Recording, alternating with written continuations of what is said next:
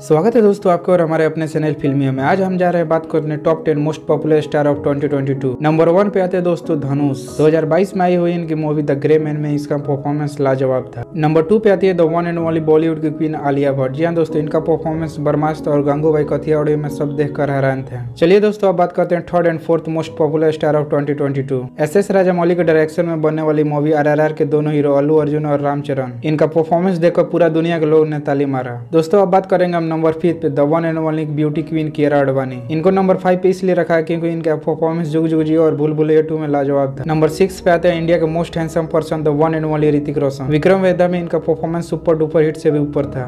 Number one पे आते हैं सबके दिलों में राज करने वाला the one and only Rocky star yes आपने के जी एफ़ टू तो देखी होगी जी हाँ दोस्तों, इनका स्वेग प्लस स्टाइल देख पूरा दुनिया हिल गया था। चलिए दोस्तों, अब बात करते हैं number nine most popular star of twenty twenty two ninth पे आती है दोस्तों एक्ट्रेस समानता। इनका परफॉर्मेंस देखकर यशोड़ा फ़िल्म में पूरा पब्लिक खुश हो गई थी। चलिए दोस्तों, अब बात करते हैं नंबर टेंथ एंड लास्ट आपको हिंट्स देता हूँ, झुकेगा नहीं साला। जी हाँ दोस्तों, पुष्पा अल्लू अर्जुन। अल्लू अर्जुन का परफॉर्मेंस देखकर पुष्पा द राइज दोस्तों सुपर डुपर हिट रही थी। इसमें रश्मिका मंडाना का भी स्वेग दिखा था। आपको इसमें से सबसे बेस्ट एक्टर्स और एक्ट्रेस कौन लगा कमेंट बॉक्स में ज़रूर बताएँ। वीडियो अच्छा लगे तो लाइक करो, ऐसे वीडियो हमारे चैनल को सब्सक्राइब करना ना भूलें। ओके बाय जय